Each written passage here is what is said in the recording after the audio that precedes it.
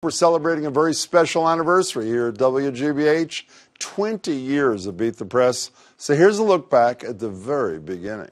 Welcome to Beat the Press, a show where the press is the beat. We cover the news media the same way they cover everything else, which means we'll be beating them up from time to time. And that she has over the past two decades. Emily Rooney, that was her. And her panel have covered the media's failures, triumphs, everything in between. Tomorrow they'll look back on it all on a special live 20th anniversary episode. I cannot wait. Emily, congratulations. It's great to see you. That was a little clip from, by the way, uh, a pilot, right? A pilot that I shot in New York City. I can't Before it even started. year. Like 94, 95, and I shopped it around to all these places. How did this even come to be? How did this thing start? So I, I, I, was, I wrote about this. I said, Chet Curtis and I used to sit around the Channel 5 newsroom grousing about the fact that some media critic, ever, all the newspapers had media critics, they were always taking off on television. It was always about the personalities, their Mm-hmm. salaries, whatever shows they were doing. And there was nothing ever broader. And we used to talk about that, and I said, I'm going to make that happen someday. But it wasn't just Chet who was involved. Some pretty high-profile names were touched Oh no, but that was when I was travels. just talking about it Like who, with for Chet, example? but- Who was part of that? Well, well, no, no. So I mean, when I was first getting this idea, I went to uh, trademark it, and it turned out that Arianna Huffington had Mm-hmm. the same idea, and she was racing to the tr- trademark office to do the same thing. We talked together. She invited me down to her place, and we talked. But she was she had an ideological bent on it. and She wanted to criticize the liberal press. That was back when she was a conservative. So- Bill Shine, who's now deputy White House head of was the communications. di- what was his deal? He was the director on a show that I, I was working with, the guy who actually helped me produce the pilot. and Roger Ailes. And? Roger Ailes, I shopped that piece around to Roger Ailes, and he, was, he says he was very amused by it, and then he said, "You got to write a book first. You know, I, I was thinking about, uh, I don't know precise dates. There was a decent amount of media criticism when you started. Uh, I'm pretty sure the uh, uh, Phoenix, uh, now gone, Adam Reilly. had it. Yeah. Well, and, uh, and Mark Jurkowitz, who was your regular Yeah. guy. Then Jerkowitz moved on to be the ombudsperson at the Boston Globe. Does it matter that 20 years later, there's virtually, other than sports media criticism, you are it. There's one well, game in town. Does there's reliable sources on CNN. Well, that's true. No, but I mean, I meant here. Oh, there is none. No one does it anymore. And All why should anybody care about gone. that? Why should anybody care that there's only one game in town? Should they? I mean, yeah, because it's like every every beat that's covered, you it gives you a perspective, and it also it mashes stuff for you. It's like why do you have movie Mm-hmm. reviews? We still have that. Why not have media criti- criticism? Yeah, I mean, I think it's really sad. It's too bad that it's disappeared. What'd you think of yourself in the video? God, Looking was so pretty corny. good.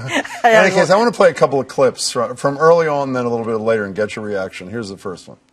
Why does the news business, unlike any other business, uh, Dow Chemical or anybody, why do we have to apologize for having investors and, and having to report some profit to them? The difference is, Brian, that while journalism is a business enterprise, it's also an ethical enterprise. It's important to our democracy.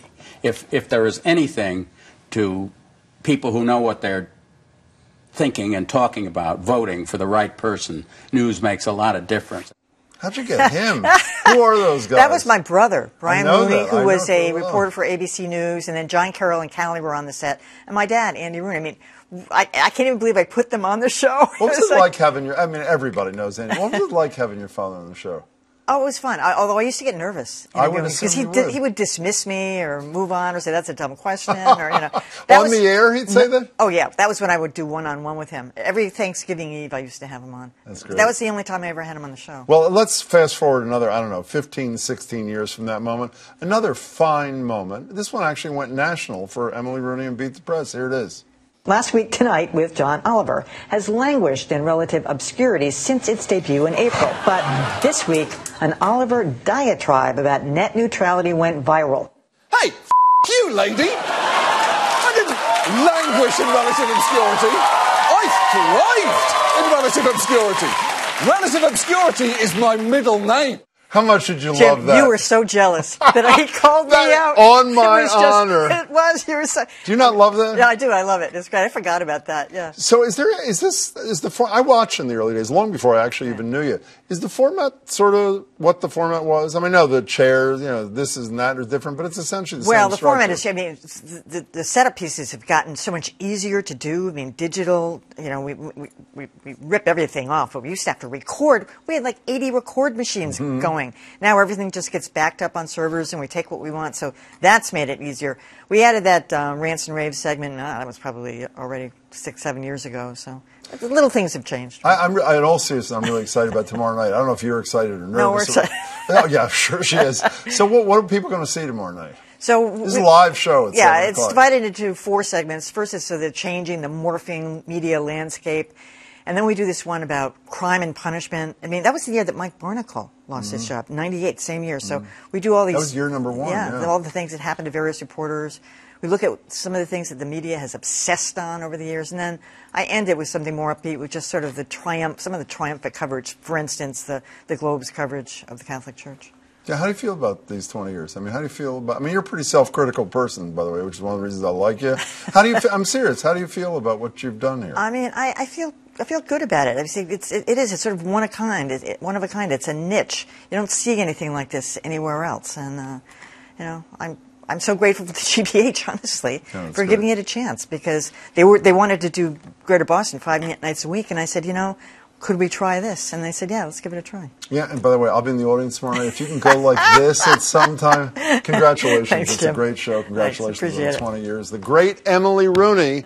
Tune in tomorrow night, a special 20th anniversary edition of Beat the Press. That's tomorrow at 7 right here on GBH2. And there's a Facebook Live thing to follow it, by the way, so stick around, don't go anywhere.